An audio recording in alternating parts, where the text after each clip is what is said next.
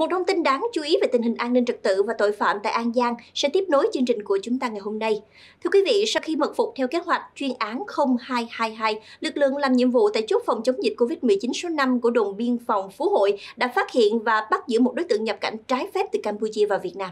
Điều đáng nói, người này có mang theo súng quân dụng K54 và 2 kg ma túy đá. Đối tượng bị phát hiện vào khoảng 16 giờ 20 phút chiều ngày 5 tháng 3 tại huyện An Phú, tỉnh An Giang. Khi phát hiện lực lượng chức năng, nghi phạm liền bỏ chạy nhưng bị bắt giữ ngay sau đó. Lực lượng tiến hành kiểm tra nhanh, phát hiện nghi phạm này mang theo một bao tải, trong bao tải có một túi ni lông màu đen, một túi ni lông màu hồng, một khẩu súng K54 và 5 viên đạn. Bên trong thì có 4 túi nhỏ chứa khoảng 2 kg nghi là ma túy đá. Tại đồn biên phòng nghi phạm khai nhận tên Nguyễn Văn Liệt, 24 tuổi, ngụ xã Vĩnh Hội Đông, huyện An Phú, tỉnh An Giang, làm thuê ở Campuchia hơn 2 năm nay tại huyện Prechusa, tỉnh Tà Keo. Nghi phạm khai nhận mang số hàng hóa nói trên về khu vực kênh ruột, xã Phú Hội, huyện An Phú sẽ có người ra nhận hàng và được trả tiền công là 100.000 riêu tiền Campuchia. Vụ việc đang được cơ quan chức năng tỉnh An Giang điều tra làm rõ.